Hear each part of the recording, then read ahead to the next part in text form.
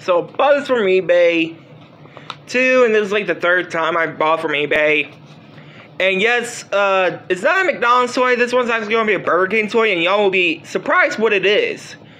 And it's from 11 years ago, so here we go. Here it is, guys. It's the 2010 Burger King toy that is a Triple H. And yes, there is other ones too, like John Cena and The Undertaker, which I am going to think about finding on eBay and unboxing in the near future.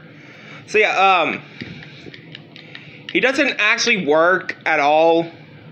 Because, well, you know, if he actually did work, he would say, I am the game. And, no, these to- type of toys over there are King, which is just 11 year old toy, does not have, like, a number to it. So, I'm to say this one's number one, Triple H. If he did work, he would say, I am the game, or King of the Kings. I really don't remember that much, but, um, yeah, guys, like, comment, subscribe.